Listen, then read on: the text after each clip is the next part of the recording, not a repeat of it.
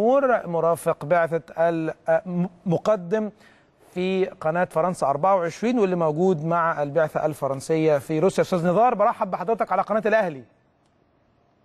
مساء الخير كابتن مساء الخير عليكم وعلى جميع المشاهدين. طبعا حضرتك موجود في روسيا مع المنتخب الفرنسي. فوز مهم جدا لمنتخب فرنسا على أورجواي صعود المنتخب الفرنسي لدور قبل النهائي لمواجهة بلجيكا. كلمنا عن الأجواء والاحتفالات اللي موجودة حاليا في بعثة المنتخب الفرنسي اللي متواجد حاليا في روسيا. يعني بداية البث أنا تركتها ورايا يعني بعد المباراة. الآن عندنا طيارة ترجع موسكو من نيجني آه نيجني نوفغورود المدينة تمام. دارت عليها المباراة ما بين آه فرنسا والأورجواي حقيقة الأورجواي دخلت إلى المباراة آه بكطائر بجناح واحد يعني ليس بجناحين يعني ليس بكامل القوة هذا هو ما حدث للمنتخب الأورجواي يعني بفقدانه لإدينسون كافاني لاعب باريس سان جيرمان المهاجم الذي يعتبر الحل الوحيد لهذا المنتخب بجانب لويس سواريز. هذا المنتخب يعتمد على طريقة دفاعية كاملة آه، خط الدفاع وخط الوسط تقريبا يدافع بثمانية لاعبين.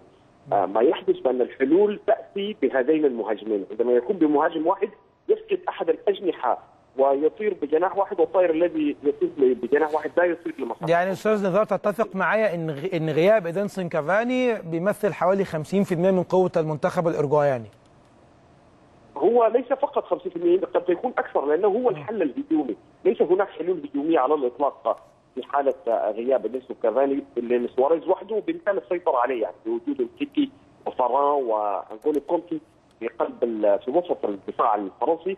من السهل جدا السيطرة على لاعب واحد ولكن لما يكون هناك لاعبان هنا من الصعوبه السيطرة عليه، المنتخب الفرنسي لديه قوة أيضا. طبعا. يعني آه، دعني أقول لك بأن قوة المنتخب الفرنسي هي العمود الفقري.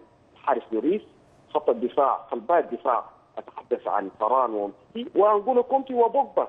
طبعا. ال- ال- الرجل ال- ال- الرجل ال- الذي يلعب في تشيلسي والآخر الذي يلعب في مانشستر يونايتد يعتبران يعني محور ركيزة المنتخب الرمان رمانه المنتخب الفرنسي اضف إلى جريزمان ومبابي وجيرو. اذا العمود الفقري مكتمل للمنتخب الفرنسي الأطراف مكتملة. ما كان يفتقده اليوم المنتخب الفرنسي افتقد لبليز ماتويدي الذي كان يلعب على الناحية اليس- اليسار.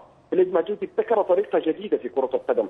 يعني من المعروف أن هناك بعض اللاعبين يقومون بدور دفاعي وهجومي في ذات الوقت. box to box ولكن ماتويدي ابت- ابتكر طريقة أخرى. box to box back to box يعني يذهب من منطقة الجزاء إلى. منطقة الجزاء ويعود إلى منطقة طريقه صح. بنفس واحد. وهي صعبة للاعبين يعني نفس. طويل جدا يملك الرجل أكثر من رئة أعتقد أكثر من رئتين يعني قد تكون لديه أربع رئات يعني. آه ما طلع النهارده واتكلم على النقطة اللي حضرتك بتتكلم فيها دي وقال أنا عندي رئتين زي كل البشر ما هم عندهم رئتين. وكانت لفتة طيبة جدا من كانتي طبعا زي ما حضرتك بتقول بيقطع مسافات كبيرة جدا جدا في الملعب بيروح ال 18 وبيرجع في نفس الوقت لفريقه في منطقة ال 18 لكن أستاذ نزار آه، عايز أسأل حضرتك على مواجهة منتخب فرنسا للمنتخب البلجيكي عايز أعرف رؤية حضرتك آه، هتبقى عاملة إزاي؟ كمان هل كان يفضل المنتخب الفرنسي ملاقاة المنتخب البرازيلي ولا منتخب بلجيكا؟ ولا مش فارقة معاه أي حد موجود في ال semi final بالتالي هو جاهز لملاقاة أي منتخب ايا كان اسمه. يعني بداية دعني أقول لك إن المنتخب البلجيكي استغل اليوم عدم وجود كاسميرو وهو الرمان الرمان صح. التسويق ال- ال- مظبوط. إذا كان كاسميرو موجود المباراة لن تكون بهذه الطريقة. صح. وأضف إلى أن باولينيو لاعب مخضرم يعني هو مصاب باولينيو كمان ليس فقط هو فقط لاعبين يعني أدخل فرناندينيو ولكن كان باولينيو بنص كلاتش كده يعني مش كامل أصلا آه، آه، آه، كامل القوة الرجل يعني هو. في المباراة السابقة وتم تبديله بفرناندينيو وكاسيميرو تلقى البطاقه الصفراء الثانية وهنا في حالة تلقيك آه، بطاقتين من اللون الأصفر هنا تحرم من المباراة التي تعقد آه، لو كان كاسيميرو موجود لما كان آه، بامكان المنتخب البلجيكي تخطي البرازيل بهذه الطريقة.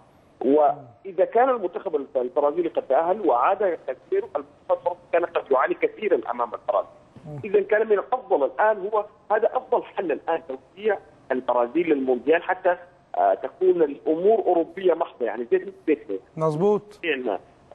والآن ال- ال- أصلا المنتخب البلجيكي هو عبارة عن copy paste من منتخب فرنسا 98 تمام. ذات السياسة التي اتبعتها فرنسا في السابق اندماج المهاجرين في المنتخب مروان قلياني عندك شادي لديك آه، آه، عديد من الأسماء في هذا المنتخب هي من أصول أجنبية. كمباني آه، أسماء كثيرة هي من أصول أجنبية من أبناء المهاجرين تم إدماجها في المنتخب الوطني وهي. وهو شكل جديد للكرة البلجيكية. في عام 2014 المنتخب البلجيكي كان هو اغلى المنتخبات في المونديال. الآن هو يملك من اغلى اللاعبين الموجودين لوكاكو إيدين هازارد العديد من الأسماء دي بروين مبالغ تتجاوز ال 100 مليون دولار يعني في صفقات الميركاتو. اذا المنتخب البلجيكي يتبع سياسة فرنسا 98 فرنسا تسير على ذات الخط أبناء المهاجرين يندمجوا ويلعبون في المنتخب. اذا هي مدرستان تتشابهان تماما يعني copy paste يعني آه تمام. خطه والصاق والآن المباراة ستكون يعني 50 يعني ليس هناك أفضلية المنتخب الفرنسي لديه السرعة، المنتخب البلجيكي لديه السرعة ال counter attack، لديهم ال counter attack، اللياقة البدنية، التركيز العالي، كل شيء على ما يرام خاصة أن المنتخب البلجيكي لديه مدرب فرنسي وهو مساعد ما أنا كنت لسه أقول لحضرتك تفتكر بقى تفتكر تيري ده هيفكر إزاي؟ هيفكر إنه يبقى مع المنتخب الفرنسي ولا مع المنتخب البلجيكي؟ آه ده ده هتكون معضلة بالنسبة لي بس يعني موضوع professional يعني. صعبة صعبة أستاذ نزار وجود فرد في منتخب بلجيكي طبعا وبيلاقي منتخب بلاده صعب جدا جدا يعني. طب هل هي ممكن تكون نقطة ضعف للمنتخب الفرنسي وجود تيري هنري مع منتخب بلجيكا؟ كونه طبعا نجم للمنتخب الفرنسي هو عارف إزاي منتخب فرنسا بيلعب إيه هو نقاط الضعف ونقاط القوة. ممكن تكون نقطة ضعف للمنتخب الفرنسي ولا ديشامب عنده رؤية تانية؟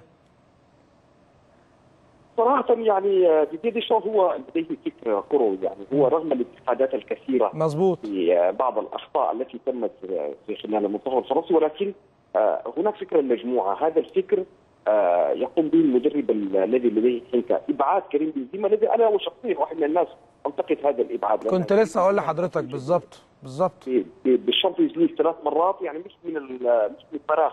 أنت ابن المهنة وابن ابن لاعب كبير هو ربيع ياسين. وتعرف هذه التفاصيل يعني تعرف يا صديقي أن هذا النوع من المدربين لديهم فكر فكر المجموعة. صح. أن ليس أن لا يكون هناك خلل صح. آه وتوتر ما بين اللاعبين داخل غرفة الملابس لأن المجموعة هي التي تؤدي. ليس النجم الواحد.